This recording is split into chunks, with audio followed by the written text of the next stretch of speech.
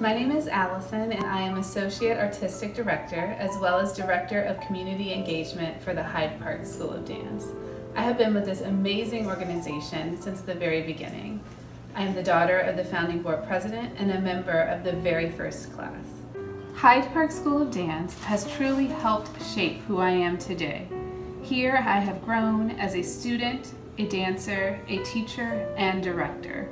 The tools I gained from my time in the studio have served me way beyond the classroom.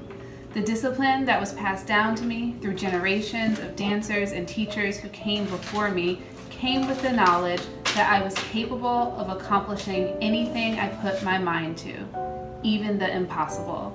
I carried this with me through my academic career and every dream I have pursued thereafter. Every day a dancer enters the studio, they leave having accomplished the impossible. They have pushed themselves further than they thought they could have. They have ignored distractions and focused on their internal voice and discipline. They have bravely put themselves out there for others to see, and they have continued a long and rich history that does not exist in books, but can only be shared by being present in the moment. I now confidently pass those lessons on to my students. My hope is that they will have the courage to use their voices, pursue their dreams, and change the world for the better.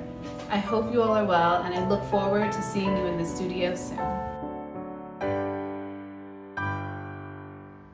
My name is Jane Sawyer. I'm the Assistant Director of Community Engagement at the Hyde Park School of Dance, and I'm also a faculty member and former student. I started dancing at HPSD with Miss August and Miss Amy when I was three years old. HPSD is where I grew up. It's where I learned how to love dance and how to love myself. And as a young girl, my teachers at HPSD helped me figure out what kind of person I wanted to be. It's a joy to be a part of this family and to watch our students connect to their power and connect to their artistry inside and outside of the studio. I am who I am today because of the influence of the Hyde Park School of Dance. Because here I learned that community and artistry are undeniably connected in my work at the school and teaching dance at other locations like Cook County Jail, I carry the lessons I was taught at HPSD as a young girl to take care of my body, be kind to myself, hold myself accountable, show up prepared for yourself and for your fellow dancers, uh, for whoever you're working with. Try your best to be a role model for younger artists. Be gracious and aware of the space you take up in this world. Um, uh, all of these things are things I carry with me now because of my experience at HPSD, and uh, I'll always be grateful.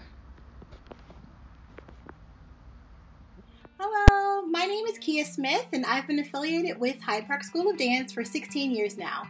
I came to the school as a scholarship student and teacher trainee in 2004, and then I joined the faculty in 2016 and have also danced for a Taigo Dance Project. So I think uh, what made HPSD a home for me right away was the fact that the faculty was so invested in us as students.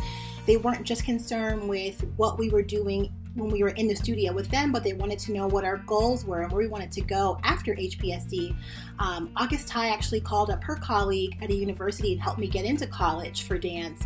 Um, I started much later than a lot of the other kids in the school and didn't have a lot of the resources that I felt like other people had, but I didn't feel that that impacted me and my experience at the school. I think because the school was so invested in me as a young dancer, it really helped me to see myself um, and to see a future for myself as an artist in the field.